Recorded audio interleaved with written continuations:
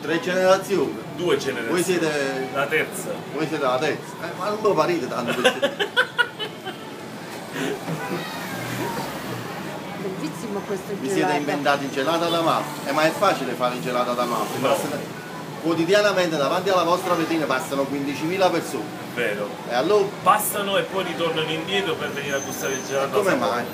È perché ci preferiscono il perché biglietto è all'andata e ritorno. Ah, Ecco qua. ecco qua, un gelatino d'assaggio in cui ci dite gli ingredienti.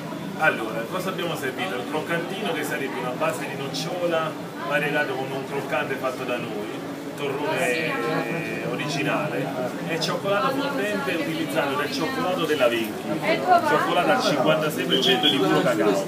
20. Come si fa a mantenere la qualità nella- in questo rapporto di quantità? Cioè 15.000 persone al giorno, come si fa a mantenere la qualità? Essere sempre uguali. Eh, avete dietro al laboratorio tante tanti macchinari. Grazie, buonasera.